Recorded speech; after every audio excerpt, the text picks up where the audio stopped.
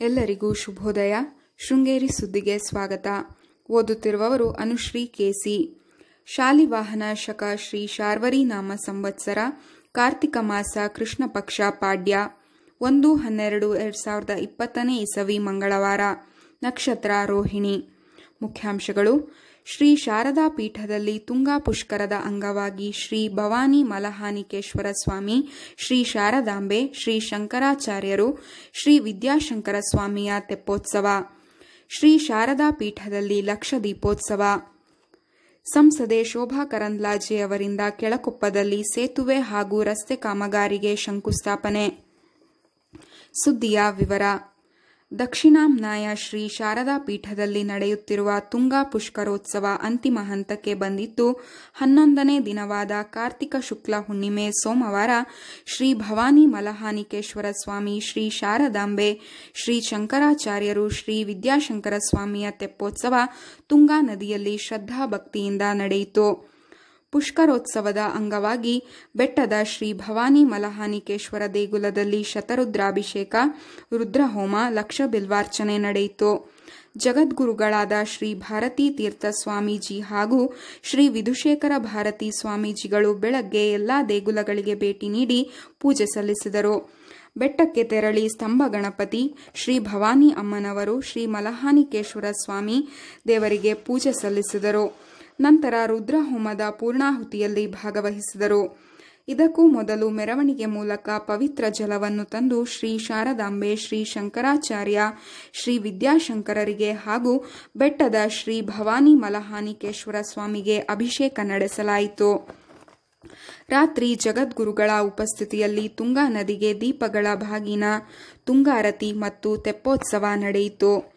ರಾತ್ರಿ ಬೆಟ್ಟದ ಶ್ರೀ ಮಲಹಾನಿಕೇಶ್ವರ ಸ್ವಾಮಿ ಸನ್ನಿಧಿಯಲ್ಲಿ ಜಗದ್ಗುರು ಶ್ರೀ ವಿಧುಶೇಖರ ಭಾರತಿ ಸ್ವಾಮೀಜಿಗಳು ಮೊದಲ ದೀಪವನ್ನು ಬೆಳಗಿ ಲಕ್ಷ ದೀಪೋತ್ಸವಕ್ಕೆ ಚಾಲನೆ ನೀಡಿದರು. ಗ್ರಾಮೀಣ ಭಾಗದ ಸಂಪರ್ಕ ರಸ್ತೆ ಹಾಗೂ ಸೇತುವೆಯನ್ನು ಕೇಂದ್ರ ಸರ್ಕಾರದ ಅನುದಾನದಲ್ಲಿ ನಿರ್ಮಿಸಲಾಗುತ್ತಿದೆ ಎಂದು ಸಂಸದೆ ಶೋಭಾ ಕರಂದ್ಲಾಜೆ ಹೇಳಿದರು. ಅಡ್ಡಗದ್ದೆ ಗ್ರಾಮ ಪಂಚಾಯಿತಿಯ ಕೆಳಕೊಪ್ಪದಲ್ಲಿ ಸೋಮವಾರ ಸೇತುವೆ ಹಾಗೂ ರಸ್ತೆ ಕಾಮಗಾರಿಗೆ ಶಂಕುಸ್ಥಾಪನೆ ನೆರವೇರಿಸಿ ಮಾತನಾಡಿದರು. ಪ್ರಧಾನಮಂತ್ರಿಗಳು ಹದಿನೈದನೇ ಹಣಕಾಸು ಯೋಜನೆಯಲ್ಲಿ ಪ್ರತಿ ಗ್ರಾಮ ಪಂಚಾಯಿತಿಗೆ ಒಂದು ಕೋಟಿ ಅನುದಾನ ನೀಡುವ ಬಗ್ಗೆ ತಿಳಿಸಿದ್ದಾರೆ. ಕೇಂದ್ರ ಹಾಗೂ ರಾಜ್ಯ ಸರ್ಕಾರದ ಅನುದಾನ ಸದುಪಯೋಗವಾಗಬೇಕಾದರೆ ಗ್ರಾಮ ಪಂಚಾಯಿತಿ ಹಾಗೂ ಸ್ಥಳೀಯ ಸಂಸ್ಥೆಯಲ್ಲಿ ನಮ್ಮ ಪಕ್ಷವೇ ಅಧಿಕಾರ ಪಡೆಯಬೇಕು ಎಂದರು. ಮಾಜಿ ಶಾಸಕ ಡಿಎನ್ ಜೀವರಾಜ್ ಮಾತನಾಡಿದರು. ಅಡ್ಡಗದ್ದೆ ಗ್ರಾಮ ಪಂಚಾಯಿತಿ ವ್ಯಾಪ್ತಿಯ ಮಿಗಿನಕಲ್ಲು, ಹೆಗ್ಗದ್ದೆ, ಕೆಳಕೊಪ್ಪ ದೇವಾಲಯ ಕೊಪ್ಪವರೆಗಿನ ಎರಡು ಸೇತುವೆ ಸೇರಿದಂತೆ ರಸ್ತೆಯನ್ನು ಹನ್ನೊಂದು ಪಾಯಿಂಟ್ ಎಂಟು ಮೂರು ಕೋಟಿ ರು ಕಾಮಗಾರಿಗೆ ಸಂಸದರು ಶಂಕುಸ್ಥಾಪನೆ ನೆರವೇರಿಸಿದರು. ಸರಕಾರಿ ನೌಕರಿಯಲ್ಲಿ ಪ್ರಾಮಾಣಿಕವಾಗಿ ಸೇವೆ ಸಲ್ಲಿಸುತ್ತಿರುವ ವಿಪ್ರ ನೌಕರರು ಸಂಘಟನೆಯಾಗಿದ್ದಲ್ಲಿ ಮಾತ್ರ ಸಮಾಜ ಬಾಂಧವರಿಗೆ ಸಮಸ್ಯೆಯಾದಾಗ ಎದುರಿಸಬಹುದಾಗಿದೆ ಎಂದು ಶ್ರೀಮಠದ ಅಧಿಕಾರಿ ಶ್ರೀಪಾದರಾವ್ ಹೇಳಿದರು. ಭಾನುವಾರ ರಾಜಾನಗರದಲ್ಲಿರುವ ಶ್ರೀ ವಿದ್ಯಾಭಾರತಿ ಭವನದಲ್ಲಿ ವಿಪ್ರ ನೌಕರರ ಸಂಘ ಆಯೋಜಿಸಿದ್ದ ಸ್ನೇಹಕೂಟ ಕಾರ್ಯಕ್ರಮ ಉದ್ಘಾಟಿಸಿ ಮಾತನಾಡಿದರು. ವಿಪ್ರ ನೌಕರರ ಸಂಘದ ಅಧ್ಯಕ್ಷ ಶ್ರೀಕೃಷ್ಣ ಮಾತನಾಡಿ, ವಿಪ್ರ ನೌಕರರು ಸದ್ದಿಲ್ಲದ ಸೇವೆ ನಡೆಸುತ್ತಾ ಬಂದಿದ್ದಾರೆ. ಕೋವಿಡ್ ನೈನ್ಟೀನ್ ಸಂದರ್ಭದಲ್ಲಿ ಸಂಕಷ್ಟದಲ್ಲಿದ್ದ ಬ್ರಾಹ್ಮಣ ಕುಟುಂಬಗಳಿಗೆ ಆಹಾರ ಕಿಟ್, ರೋಗ ನಿರೋಧಕ ಶಕ್ತಿ ವೃದ್ಧಿಸುವ ಔಷಧಿ, ವೈದ್ಯಕೀಯ ವೆಚ್ಚಕ್ಕೆ ನೆರವು ಮುಂತಾದ ಹಲವು ಜನಪರ ಕಾರ್ಯವನ್ನು ಮಾಡಿದೆ ಎಂದರು. ಧಾರ್ಮಿಕ ಕೇಂದ್ರವನ್ನು ಉಳಿಸಿ ಸಂರಕ್ಷಿಸಿ ಮುಂದಿನ ಪೀಳಿಗೆಗೆ ನೀಡಬೇಕಾಗಿರುವುದು ನಮ್ಮೆಲ್ಲರ ಕರ್ತವ್ಯವಾಗಿದೆ ಎಂದು ರಾಷ್ಟ್ರೀಯ ಸ್ವಯಂ ಸೇವಕ ಸಂಘದ ರಾಘವೇಂದ್ರ ಹಂಚಲಿ ಹೇಳಿದರು.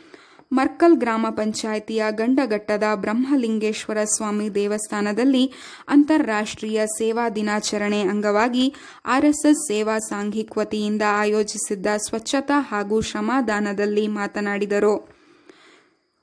ಅಡಕೆ ಧಾರಣೆ, ಶಿವಮೊಗ್ಗ, ಮ್ಯಾಮ್ಕೋಸ್, ಹಸ ನಲವತ್ತೇಳು ಸಾವಿರದ ನೂರ ಒಂಬತ್ತರಿಂದ ಎಪ್ಪತ್ತೈದು ಸಾವಿರದ ಏಳ್ನೂರ ಐವತ್ತು, ಬೆಟ್ಟೆ ಮೂವತ್ತೊಂಬತ್ತು ಸಾವಿರದ ನೂರ ಹತ್ತೊಂಬತ್ತರಿಂದ ನಲವತ್ತೊಂದು ಸಾವಿರದ ಇನ್ನೂರ ಹತ್ತೊಂಬತ್ತು, ರಾಶಿ ಇಡಿ ಮೂವತ್ತೇಳು ಸಾವಿರದ ಐನೂರ ಅರವತ್ತೊಂಬತ್ತರಿಂದ ನಲವತ್ತು ಸಾವಿರದ ನಾನ್ನೂರ ಇಪ್ಪತ್ತೊಂಬತ್ತು, ಗೊರಬಲು ಮೂವತ್ತು ಸಾವಿರದ ತೊಂಬತ್ತೊಂಬತ್ತರಿಂದ ಮೂವತ್ತೊಂದು ಸಾವಿರದ ಒಂಬೈನೂರ ಮೂವತ್ತಾರು ಸುದ್ದಿ ಸಂಪಾದಕ ಕೆಎಲ್ ಗೋಪಾಲಕೃಷ್ಣ, ಸಹಕಾರ ಕೆವಿ ರಮೇಶ್, ತಾಂತ್ರಿಕ ಸಹಕಾರ ಚಂದ್ರಕಾಂತರಾವ್ ಮತ್ತು ಸೌಮ್ಯ ವಿಜಯ್ ಕುಮಾರ್ ಪ್ರತಿಕ್ರಿಯೆ ನೀಡುವವರು ಒಂಬತ್ತು ನಾಲ್ಕು ನಾಲ್ಕು ಎಂಟು ಎಂಟು ನಾಲ್ಕು ಮೂರು ಎಂಟು ಮೂರು ಒಂದಕ್ಕೆ ವಾಟ್ಸಪ್ ಮಾಡಿ. ಧನ್ಯವಾದಗಳು.